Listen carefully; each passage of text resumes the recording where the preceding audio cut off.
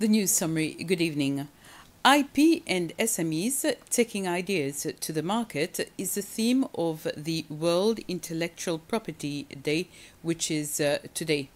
To mark the occasion, the Department of Trade and the Registrar's Registrar General's Office are encouraging more Seychellois to protect their intellectual property rights. The two partners are organizing a series of activities during the week to sensitize people about the matter. This will include online workshops in collaboration with the American Embassy, and later on, there will also be one in partnership with the World International Property Organization, WIPO. Seychelles has been a member of WIPO over the past 20 years, and so far 15,000 intellectual properties in the form of patents, copyrights, and trademarks have been registered locally. In the past, we've seen that intellectual property was not given the prominence, and it was only international companies registering their trademarks here to protect the intellectual property. However, over the years, more and more, we have seen that we are getting more registration from the local population. We've been trying together with the Office of the Registrar General and we're also trying with ESA to have training when they do the training for the SMEs to include a training on intellectual property to sensitize them on the importance of registering the intellectual property because it's you, you have to have ownership of something you've created and not to have other people abuse on that or make money from your creation. We also have a national IP committee. It's chaired by uh, myself, whereby we have different stakeholders in the country that deals with intellectual property even though Registrar General's office is the registers um, intellectual property, we deal with the policy side, we need to have inputs from different uh, actors in Seychelles, be it the police, customs, uh, University of Seychelles, uh, Ministry of Health, so all the actors and stakeholders, even the private sector on board. We have also the department responsible for culture, they have for, for the past been the registration body for copyright. They have a lot of expertise. So having them on board also, when we made the transition that now copyright is registered by Registrar General as well, they've been helpful in doing the transition and because they also deal with traditional folk um, folklore, all these things.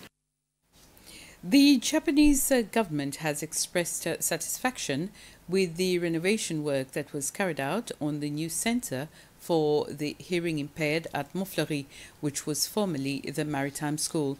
This morning, the Japanese ambassador to Seychelles, Tominaga Makoto, toured the facility, which has been renovated at a cost of $76,000 or almost 1 million rupees through a grant for assisting grassroots human security projects. Mr. Makoto was accompanied by the chairperson of the Association for the Hearing Impaired, Anita Gardner. The center is equipped with a computer room, library, room for trainers, sick bay, boarding facilities, amongst others. Very, very, very, very well satisfied with the renovation because, uh, you know, very uh, uh, sophisticated, well equipped, new deaf institute. So uh, naturally, we are very glad. We, we, we are looking for other projects, and we are still in the process of not, not an evaluation, application. So uh, application will, be, will expire uh, by the end of uh, this August. So uh, if uh, you have uh, another important project, please apply. The national airline Air Seychelles will operate a series of new charter flights from Romania's capital city, Bucharest, starting this Friday, the 30th of April. The nine hour flight to be operated by the airline's A320neo aircraft with 168 seats, will make an intermediate stop at Cairo International Airport for refueling before continuing on to Seychelles. According to a press release, flights scheduled uh, until uh, scheduled until Monday, uh, May the 17th, and are expected to carry more than 500 visitors to Seychelles. The national carrier will also operate additional charter services in August and December on this route. President uh, Kalawan will be addressing the nation this evening at 8 p.m. The address will be broadcast on SBC 1, Paradise FM, and Radio Sesel.